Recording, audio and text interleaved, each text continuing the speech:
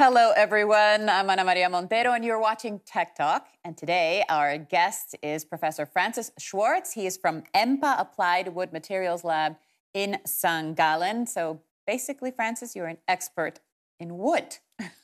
Nice. in, in very simplific terms. nice to be here, Ana Maria. Yes, um, I, but I do not only work with wood, uh, I also work with uh, wood decay fungi.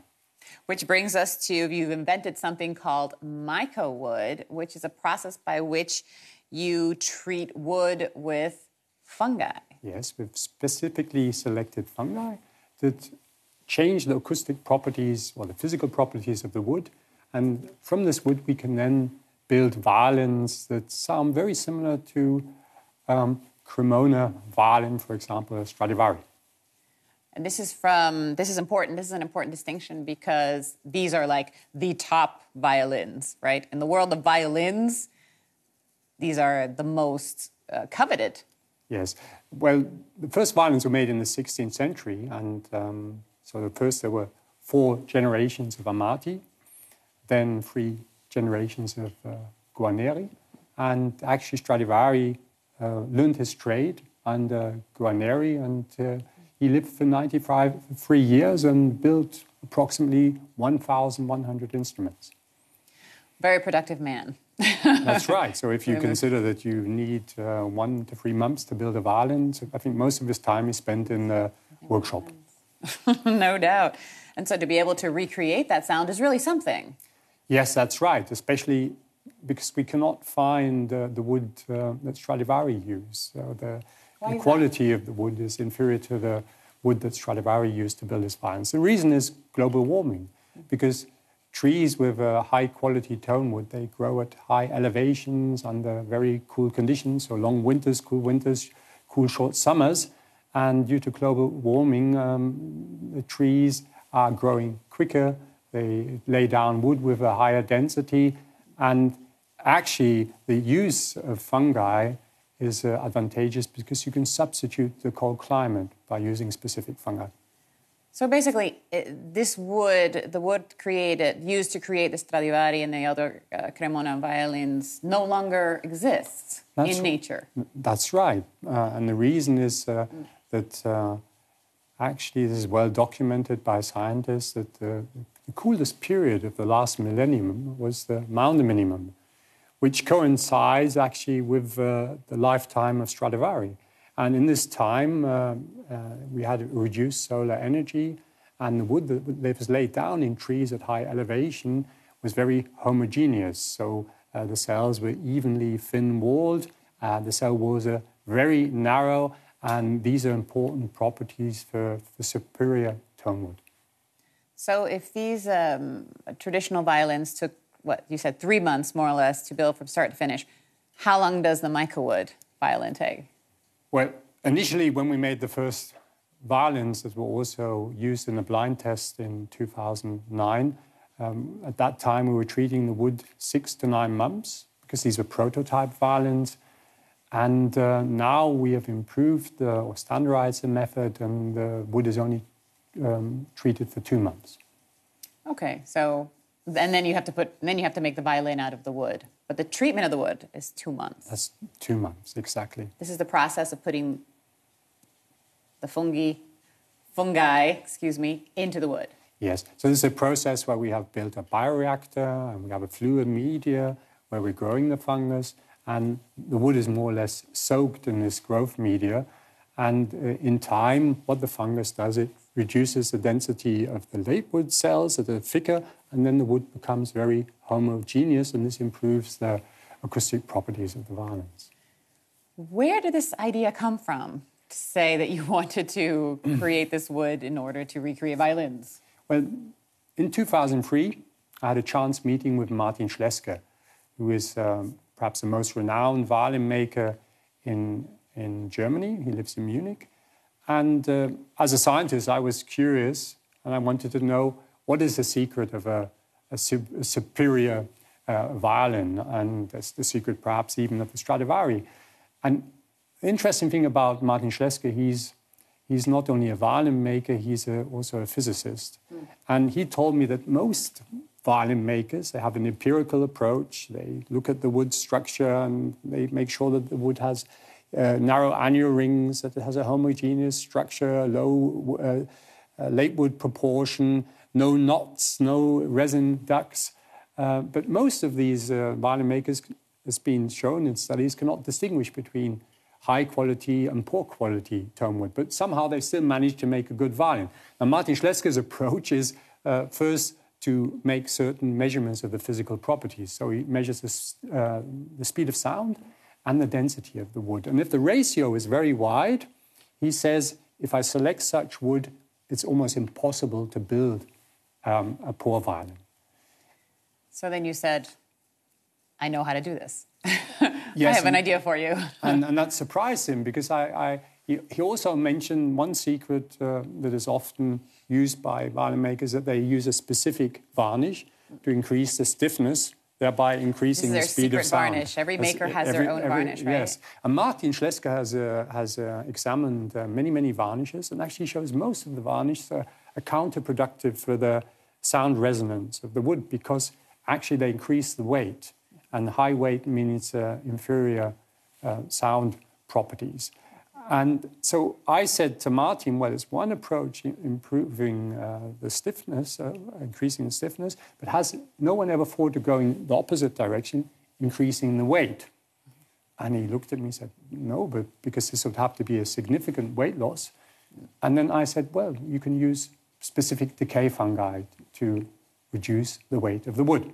And he was quite shocked because I think what he then imagined was the wood that is mostly completely destroyed by decay fungi. And this is true, but there are a few decay fungi. If you understand the adaptation of these fungi to the wood structure and you select the right fungus, they will only slightly degrade the wood. They will degrade it in, in the way and manner you want it. And actually, the acoustic properties should sound a lot better. And uh, this was something we examined and, uh, and we verified this working hypothesis um, working on wood strips. And eventually, we then decided to make violins out of this uh, fungal treated wood for a blind test. I was going to say, fast fast forward now seven years where you are now. You've already you conducted a blind test, which is the ultimate test, right? Could experts tell the difference between the Stradivari or the non-treated uh, fungi-treated violins and yours? So altogether, there were five violins two fungal treated violins and two non fungal treated violins. And um, actually, um, all these four violins were made from wood of one tree, so the properties were identical. And then there was Matthew Trusler playing on his uh, Stradivari. Matthew Trusler, star soloist from Britain, playing on his Stradivari. And all these, he played on all these five violins behind the curtain. And actually, the result was that the overwhelming majority of the audience thought that the nine-month fungal violin is actually a Stradivari. That's unbelievable. Well, perhaps one reason for this is during fungal treatment, we do change certain properties, but one property that is altered very, very strongly is the dampening of the wood. And this is perhaps difficult to explain, uh, but in simple words, wood that's not dampened has very, very strong high notes, and this is often irritating for the ear. And after fungal treatment, we find that these high notes vanish and the violin sounds warm and mellow, just like many Cremonese violins. Now we're looking uh, in the back wall, speaking of sound, it looks like they're doing some kind of acoustic testing on the violins. Is this what's happening at the moment? Yes. So I think what I have to stress here, it's not possible to measure the sound quality in a blind test. This is very, very subjective. Although our result was very, very clear, um, what my colleagues at the EMPA and the acoustic department are doing, uh, conducting numerous studies to try and quantify the sound so that we can perhaps say, look, we have reason to believe that the sound of the fungal treated wood does sound very similar to these old Cremona uh, violins. And also, I think the last step, if we can demonstrate this, if my colleagues can demonstrate this, then, um, and the last step would be to conduct psychoacoustic tests also with a, a selective audience. And this is happening at EMPA, this right? Is Which is uh, where you are also uh, in St. Gallen, and they are one of your uh, sponsors, supporters for this project. How else are you making this happen in terms of funding and support? Well, initially the project was um, funded by EMPA internally. Then uh, we managed to um, submit uh, a CTI project was, that was accepted. It was a, perhaps a different, a slightly different approach, but we, we managed to gain enough information to standardize the process for treating the wood for violins. And uh, we were very, very fortunate that after the blind test in Osnabrück, uh, the Walter Fischli Foundation approached us and they were very keen to, to, fund, uh, to fund the further work because uh, his interest is predominantly then eventually to build violins for young, talented soloists who cannot really afford uh, a two million or three million dollar um, Stradivari, Amati, or Guarneri del Gesù. Yeah, this is definitely a, perhaps a better alternative. I don't know how much they would cost in the end.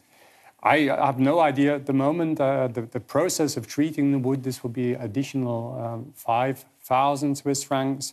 And uh, I think for a, a, modern violin these days, a really good violin, you, you already pay 30 to 40,000 Swiss francs. Okay, so it's still still an investment. Yes, and I think it's sure. still a lot more reasonable than a, than a very expensive Cremona sure. Yeah, yeah, for sure.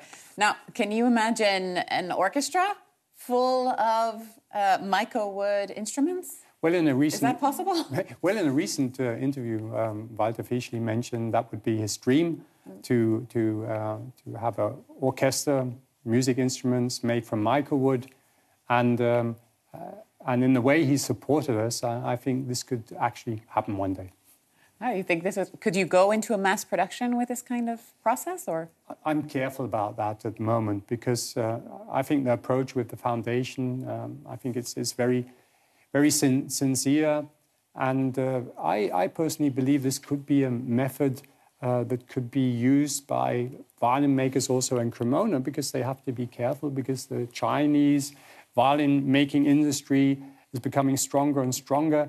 And uh, I think if we could maintain this special sound uh, that's warm and mellow that uh, we find with many antique violins, if we can maintain it for the more modern violins and, and support our violin makers uh, in, in Europe, I think that would um, be of great help. Yeah, because the, the Chinese are, how many people are learning the violin there? I, I read recently that 30 million um, Chinese are learning to play the violin, violin, at the moment. And obviously, many of them would like to have a, a violin with superior properties. And um, I'm quite confident that with our method that uh, this is possible. There's a market for it, at least for high-end violins. I think so, yes. for sure. Now, what other applications? Now, we, have got mm. you here holding a bag of I'm not sure what, but um, what is yes. it, and what are the mm. other applications of your research? Well, um, it's besides violins. Yes, it's interesting to note that approximately scientists believe there are about 1.2 million violins worldwide, uh, 1.2 million fungi worldwide, and only 10% have been described. And, and, we're losing important fungi every day if you think about the application for human medicine, antibiotics. Mm um, then you see the importance because fungi may have in future. Is Penicillium a... is also a, a, a, mold. Most people, if they would see it in the fridge, fridge growing on vegetables, they think it's, it's horrible. But on the other hand, you know, it's a, a very, very well, it's the first uh, antibiotic that was described. Mm-hmm. And um, but what you see here is actually a, a product we've developed, um, which is actually a, super, a substitute for for biocides, for, uh, for pesticides. So this is a, a, natural fungus that we've cultivated for, on, on mice granules, and we apply it to control wood decay fungi that occur in the soil and that then degrade telegraph poles. And these telegraph poles, they fail after uh, perhaps sometimes five to six years, although they're supposed to last for 30 years. And with this very simple method that we've developed, we can treat the soil and eradicate the decay fungus in the soil. Well, with only 10% of the fungi being used, it sounds like you have your work cut out for you, Francis. That's good to know, and I'm, I'm looking forward to job my security. future work. Yes, exactly.